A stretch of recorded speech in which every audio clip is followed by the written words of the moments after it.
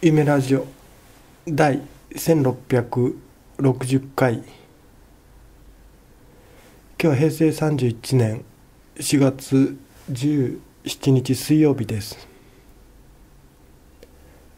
時刻は午後5時半。横浜港北外は曇ってますね。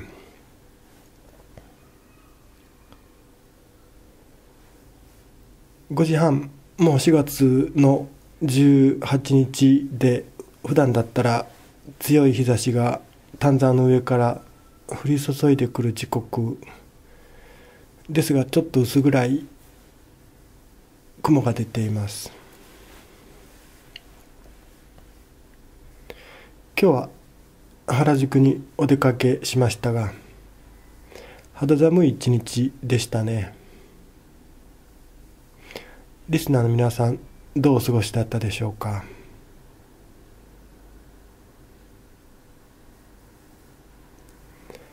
？1660回目の「夢ラジオ」今回は戦国の武将武田信玄取り上げます。武田信玄つつじヶ崎の館。今は武田神社になってますね。博物館もあります。甲府の駅から坂をずっと上がっていった場所。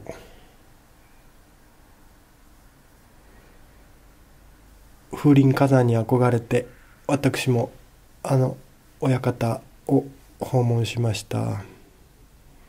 甲府には何回か行きましたね。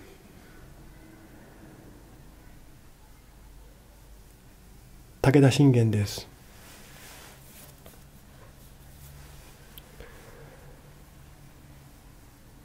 甲斐源氏清和源氏の流れを組むと言われます。由緒正しいんですよ。その意味では。で信虎っていう父親のもとに生まれ春信って名前でしたねずっと。武田春信。生まれた場所はもう土ヶ崎じゃなくてもっと別なお寺みたいなみたいなっていうかお寺で生まれました。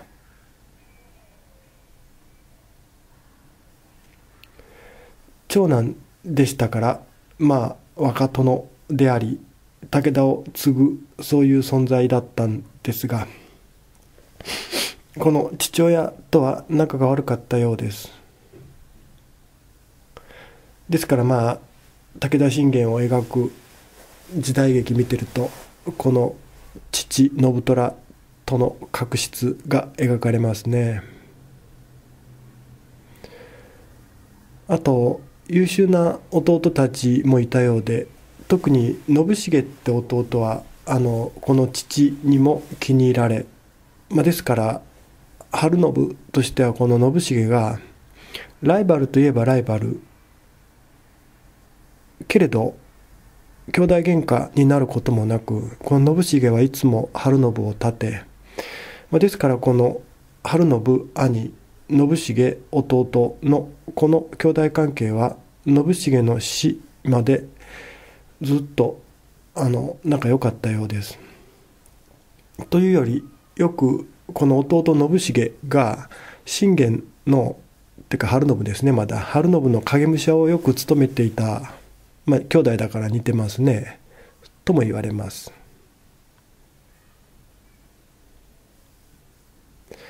この父信虎という人はまあ戦の好きな人だったんですけどそのやり方が下手くそで政治の中に戦はある。統治の中に戦争はある。戦争するならするで統治の一環として農民のことにも気を配り経済にも気を配りそして天候とか気候にも気を配り。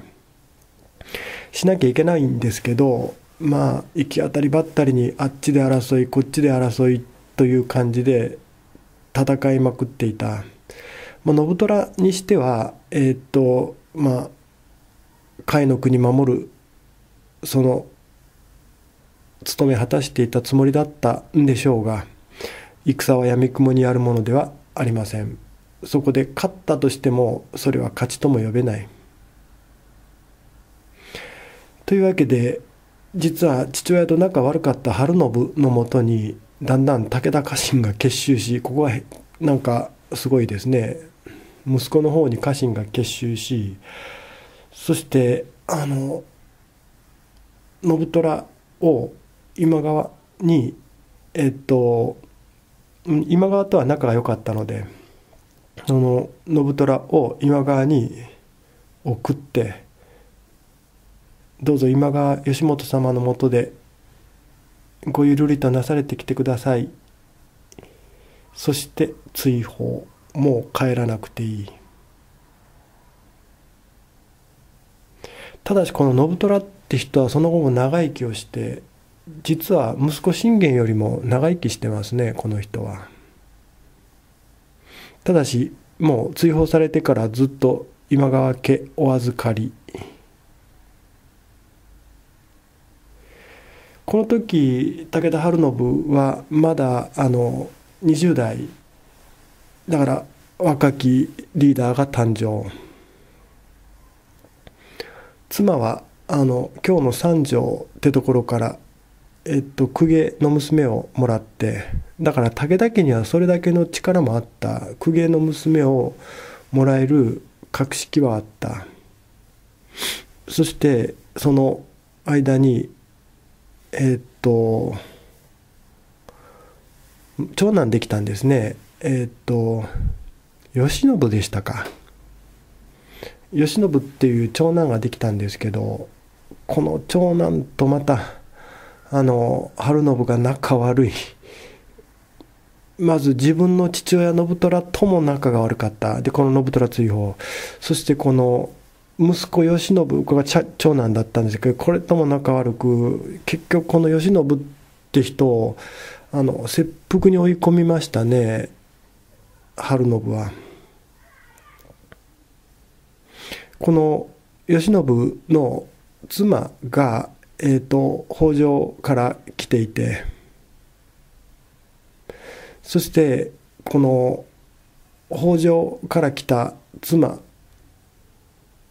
そして慶喜まあ北条寄りになりますよねけれどあの晴信がその北条寄りの政策を取らなかった時、まあ、この親子は対立し慶喜は切腹させられた。春信あのまあ親子関係はともかく知性はあの上手でまあ甲府に出るっていうか甲斐に出る金山ですね。その金山からの金これを使って国を富ます。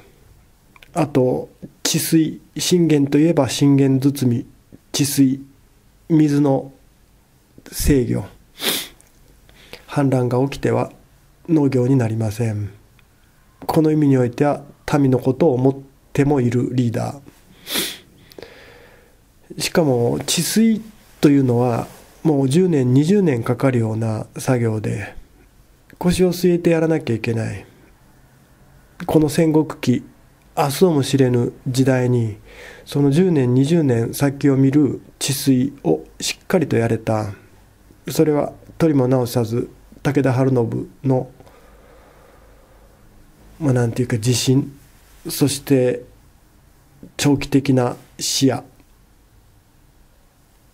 当然家臣もそんな晴信を見ていますからこのお殿様なら大丈夫だろう。武田家臣の団結力はもうすごかったようですね。あの風林火山の旗のもと。ですからあの特に騎馬兵が強かったでしょ武田は。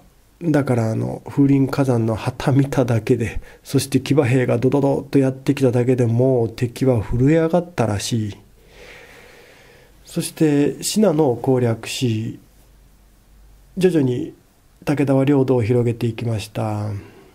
そしてその諏訪というところを攻略してそこの攻略したお城の娘をつまり、まあ、敵の娘ですね。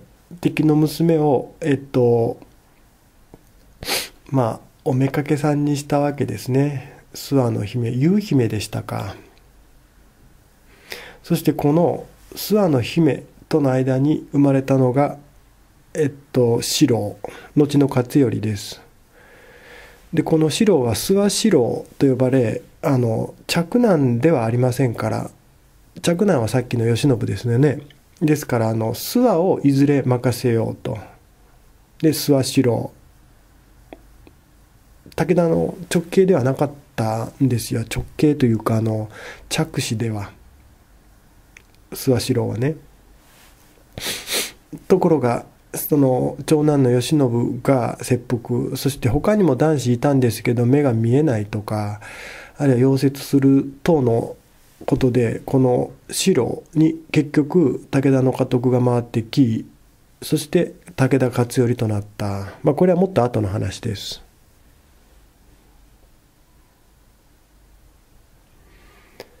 春信今川そして北条この2つとは戦わなかった。いずれにせよ。今川北条とは戦わなかったというよりさまざまな婚姻関係であのこの相模北条と駿府今川と甲斐武田の連合関係は成り立ちました。まあ、それもあって長男慶喜のもとに北条から妻が来たと。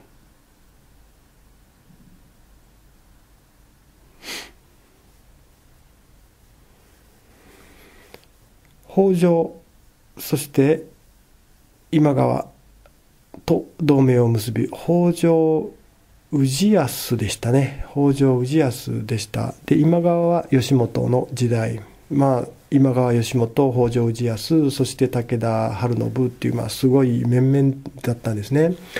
そしてあの後ろの憂いをなくして晴信は信濃もう出ていくとこここしかありませんから信濃に領土を着々と増やしていきそのことによって越後のあの上杉とあのぶつかることになります。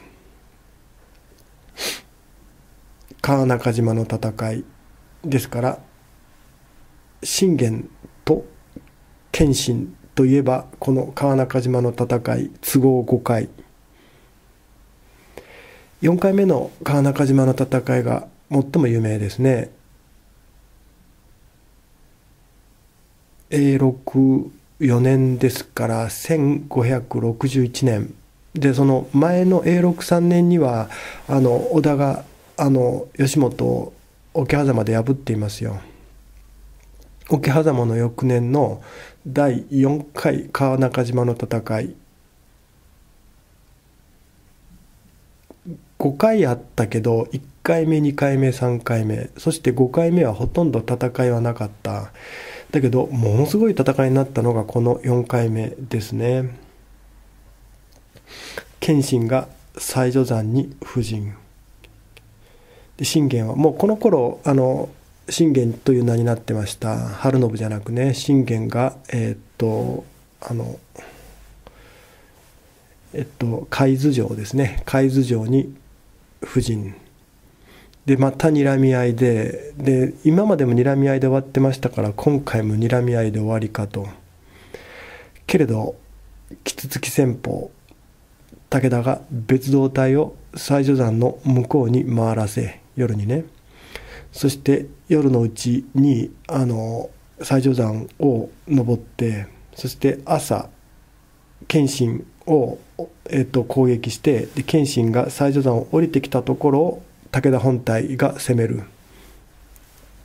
ちょうどキツツキがあの木の反対側をトントン叩いて虫をえっ、ー、とその穴から出すっていうそういうのにちなんだ山本勘助が立てた戦法とは言われますね。ただしです。加敷の煙が普段よりもずっと多くあの上がっているのを見た謙信西女山の上で武田は今宵動くこの辺の読みが謙信すごい。ですから山の頂上で火は焚いたまま。だからずっと自分たちはいるように見せかけたまま静かに山を降りていったんですよ。つまり川中島に降りていった。謙信軍は1万3千。で武田は2万だったんですがあの別動隊つまりあの西女山の向こう側から山を駆け上がるそこに1万2000ですから武田本体は8000そして馬に薪をかませていななかないようにしもちろん兵にも話すこと厳禁。その状態で弁声粛々と後に歌われましたね。川を渡り山を降りて川を渡りそして夜が明ける時なんと武田本体の前にあの上杉軍1万3,000が勢ぞろい霧が立ち込めた朝だったんですがその霧の向こうにだからこの時は武田軍もあのぎょっとしたでしょうね。いるはずのないとこに謙信軍がいると。そしてこちらは8,000向こうは1万3,000やばいと。しかも別動隊は今頃あの最上段の上でなんか空っぽなあの騙されたというそんな時。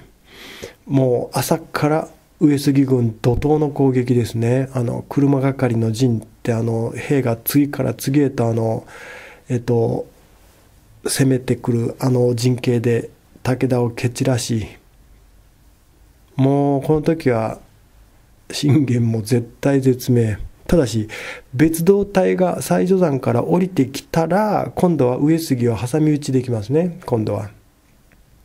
別動隊が来るまで耐えろ。この時馬に乗った上杉謙信が武田の本陣めがけてやってきてそして座っていた信玄に太刀を一振り。信玄がその太刀を軍配で発しと受け止める。私は川中島行ったことないんですけどこの馬上の太刀謙信軍配でそれを防ぐあの信玄この像があるようですね。そして川中島の戦いといえばこのシーン時代劇でも出てきますが本当だったんでしょうか。もし謙信が一人でね本陣までめがけてやってきたんならなんか矢を追いかけたらね危ないですよね。あとそのまま去っていったって言うんだけど去っていく時にもじゃああのなんでそのままみすみす逃がすんだみたいな。まあ後の創作かもしれません。が結局あの武田別動隊がやがてあの千曲川へと戻ってきてで川中島に到着。こうなってくると今度は上杉軍が挟み撃ちにされますね。で上杉軍結局あの越後に逃れ。武田はこの時この川中島であの勝ち時を上げた、まあ、この川中島を自分たちが占領できるということがあの武田の今回の戦争目的だったわけでで上杉が撤退した。自分たちはまだここにいると。だったらあのこれは勝利だと。けれど壮絶な戦いだったので武田側にあの戦死者多くあの弟信繁もここで亡くなり山本勘助もここであの死んだようですね。で他にもあの武田のあの家臣たちも有力家臣も多く亡くなりですからあの領土という点では武田が確かにここを守ったつまり勝ったかもしれないけれどその戦う力が疲弊したという点ではあのむしろ上杉の方に軍配が上がるそんな戦いだった。やっぱ謙信戦いがうまいからあの武田もどんどんあの倒されていった。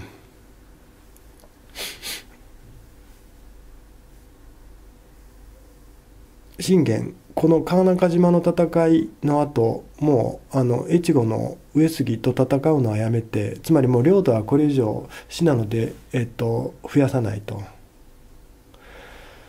でそうでなんかあの上洛する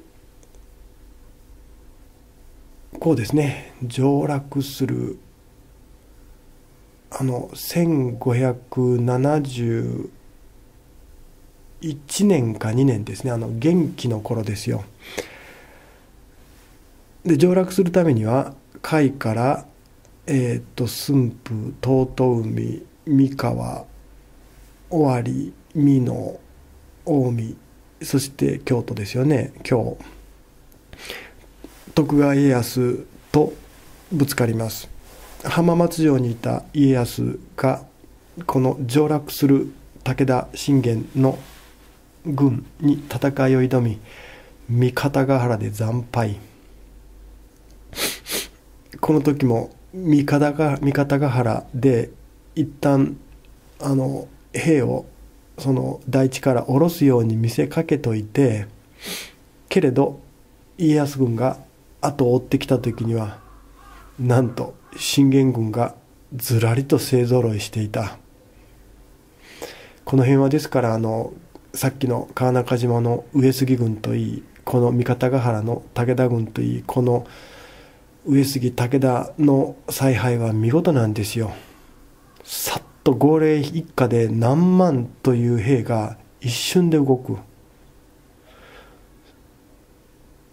三方ヶ原の大地を降りようとする武田を上から攻撃しようと思っていた徳川軍はもうもううんコテンパンにやられて家康はもう震え上がったそうですね。文字通り。文字通り震え上がってあの馬上でおもらししたっていう。であのこの時の自分の顔をねこの敗北の顔を絵師に描かせてこの時のことを忘れまいぞとずっと家康はこの鹿見顔をあのそばに置いていたとかまあ武田軍強かった。ほでこのまま徳川家康を一周しそして次は織田ですよね。でこの時武田がこのまま進軍していれば三河かね三河か尾張のどこかで織田とぶつかりあ美濃かもしれないけど。で織田が負けてたでしょう。信長も信玄には勝てなかった。全然。ところがこの正常の上洛の途中で信玄急死。我が旗を今日に立てよできなかった。だから信長はもう胸なで下ろした。なんで武田が動かんのだと。動かんどころか甲府に帰っていくではないか。信玄はもし自分が死んでもその死は3年覚醒というふうに遺言したらしいんですけどまあその遺言も守られることはなくそしてえー、っとさっきの四郎勝頼ですね。彼が当主となった。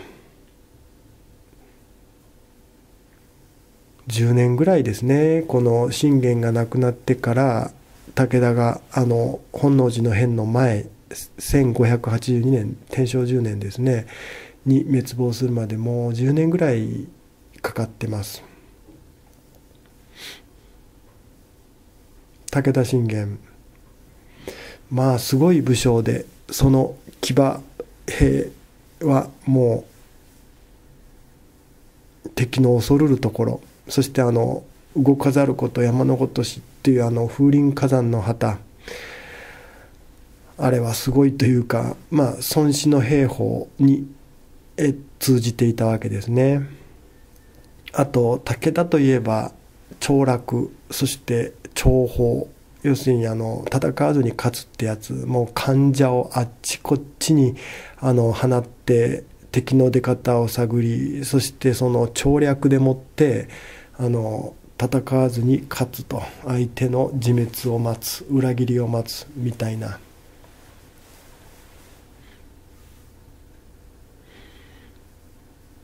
この鉄壁の武田軍でしたがやっぱ10年経ってそして勝頼の代に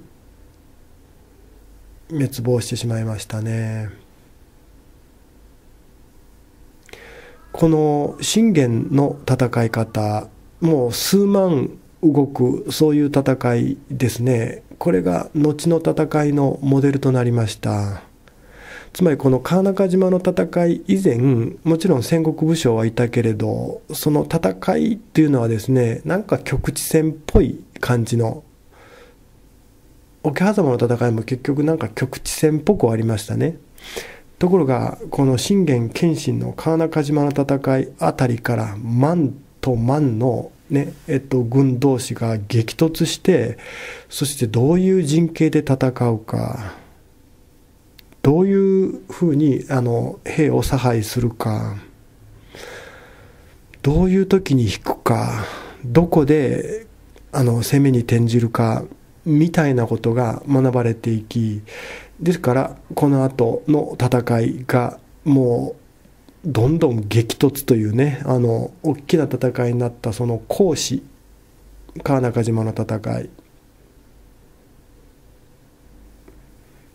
息子勝頼には我が亡き後謙信殿を頼れみたいなそんな遺言も残したとかまあ謙信としてはあ失礼しました。信玄としては、まあ、ライバルでありもう戦い抜いた相手謙信だからこそその凄さが分かった。あとあの謙信がね武田に塩を送ったという話も有名ですね。送ったといってもこれは別にただで送ったわけでなく貿易した。つまり武田は今川とか北条とあの同盟関係結んでいてもずっと同盟がいつもうまくいっていたわけでなくそのうまくいかなくなった時北条や今川との同盟が海に接してないから潮が来ない。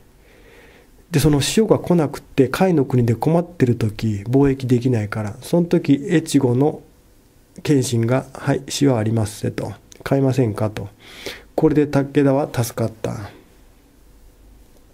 ただしあの敵への温情ではなくここで武田がね潮がなかったら農民が困る。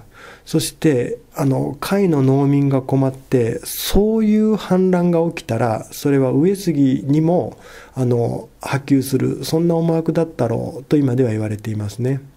つまり何もあの敵が困ってたら手を差し伸べるとかっていうそういうあの美談というよりはあのしようがないことによって甲斐の国が不穏となりそれで武田が崩れた場合それはあの越後とかにも信濃とかにも波及しかねないっていうそんな思惑からだった、まあ、とはいえですね死を送ったことは送ったのであり、まあ、信玄が勝頼にね息子勝頼に謙信殿を頼れと「イメラジオ」第1660回。